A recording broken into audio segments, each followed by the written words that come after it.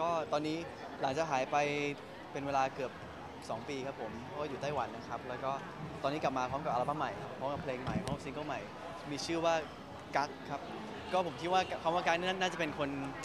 น่าจะเป็นอาการที่ใครก็เคยเจอครับ ไม่ว่าไม่โดนกั๊กก็กั๊กเขาจะสองอย่างครับ ก็กลับมาพร้อมกับอัลบั้มใหม่ แล้วก็เราก็จะมีซิงเกิลประมาณ 4-5 ซิงเกิลนะครับ กับอัลบั้มนี้แล้วก็อัลบั้มเนี่ยน่าจะวางประมาณปลายปี ซึ่งปีนี้กลับมาแล้วกลับมาเจอกันเตรียมความสนุกสนานมาเต็มเลยครับ มีทั้งเพลง MV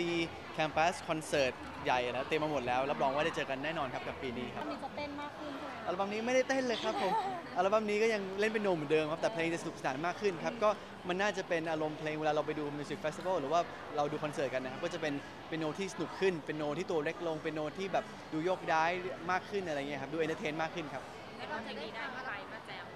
้วยเพ ลงนี้อะไรครับได้ใครมาแจมอ๋อ เพลงนี้มีแขกรับเชิญพิเศษครับ ก็อยู่เป็นมีท่อนหนึ่งในเพลงครับ ก็ลองฟังเองดูครับ แล้วก็ลองเดาว่าเสียงใครครับ น่าจะเป็นเสียงคุณคุณครับ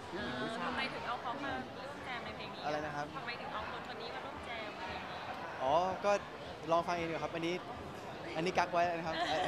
กักไว้ตามเพลง อันนี้ไปฟังดูครับ พอเดาได้ครับ เพราะว่าก็ได้ยินเสียงกันบ่อยๆครับ ใช่ไหมครับ ก็ลองฟังเอาเองแล้วก็เดาเองว่าเป็นเสียงใครครับ ช่วงเช้าๆป่ะครับ ครับครับช่วงเช้าๆครับได้ฟังเสียงบ่อยก็ลองฟังเองว่าเป็นเสียงใครคุ้นๆหรือเปล่าครับผมครับเป็นไงบ้างคะพี่บี